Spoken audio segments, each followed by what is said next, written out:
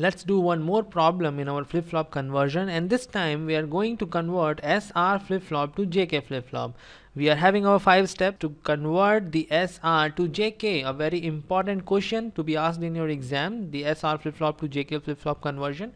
So let's move to our step number one. In step number one, we have to determine the available flip-flop and the required flip-flop. So let me write it down first, the available flip-flop the required flip-flop it is very important to determine them correctly because if you switch them everything is going to be reversed and your answer will be wrong.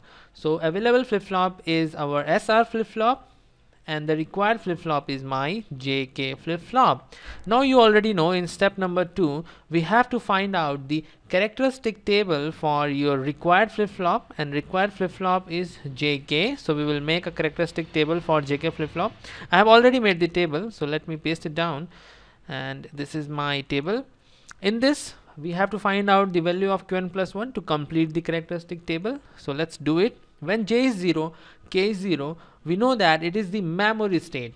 Your output or your state is going to be the same as the previous one. So previous one was 0 so qn plus 1 will also be 0 when j is 0 k is 1 qn plus 1 is 0 when j is 1 k is 0 qn plus 1 is 1 when both of them j and k are 1 it means it is the toggle state and qn plus 1 is going to be qn complement. So qn was 0 and taking its complement i'm having 1 when j is 0 k is 0 again memory. So 1 in this case 0 1 and again toggle state. So qn plus 1 is 0 the complement of 1 is now 0 so we are done with our step number 2 in which we have found out the characteristic table for our required flip-flop. Now we have to move towards step number 3 in step number 3 we have to determine the excitation table for the available flip-flop. And the available flip-flop is my SR so let's make the excitation table for the SR flip-flop. Before that let me write down the excitation table here. S and R are the two outputs and the inputs are Qn Qn plus 1 so four possible combinations. Let me write it down quickly. You can also refer to your notes. 0 1 0 don't care don't care 0 1 0 every time it is good to make the excitation table here especially for the SR flip-flop and JK flip-flop because in that case we are having eight combinations so that we can easily fill the table. It helps and it avoids mistakes. So I'm having S and R here. We have to match this two columns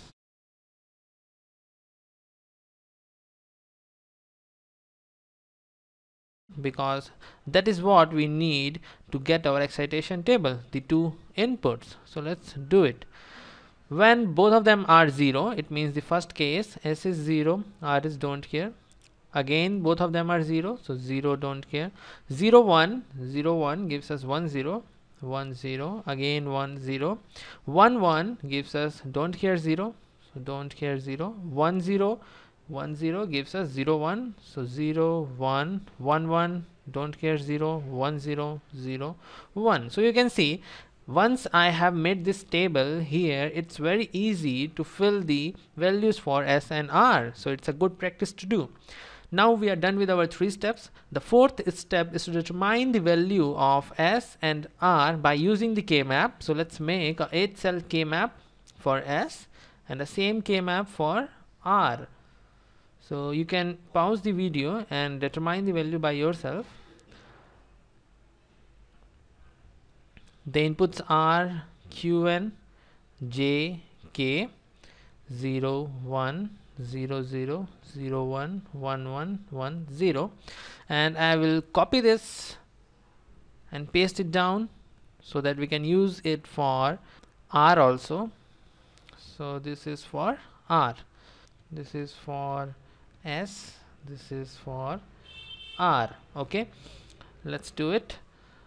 S is 0 0 1 1 so 0 0 1 1 don't care 0 don't care 0 so don't care 0 don't care 0 similarly R is don't care don't care 0 0 0 1 0 1 so I have filled the map. Now let's make the groups.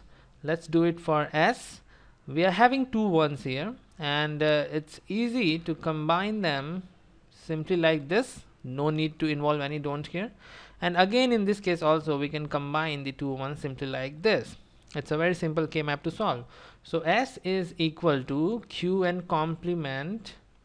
And in this if i see j is 1 k is changing from 1 to 0 so i'm having j and r is equal to qn and here I am having k because j is changing from 0 to 1 so q and k. So this is the boolean expression for our s and r. Now the last and the final step is to implement them. And you already know i'm having sr flip-flop already. So i will make sr flip-flop this is my sr flip-flop and i will do the changes that we have got in the step 4 to make it jk this is output qn qn complement. And our clock goes here. Okay this symbol represents that it is negative edge triggered. Okay and uh, now we have to see the value for s from the step number 4 it is qn complement j. Let me do it in different colors so that we can see what are the changes that we have to do. So qn complement i will take from here. And it is the AND combination of qn complement and j. So i will use a AND gate here. Okay. And the one of the input to this AND gate is j and the other input is of course qn complement that we have taken out. So we are done with our s. We have to do these changes. Now we will see for r. R is qn and k. So i will take qn from here like this and use another AND gate.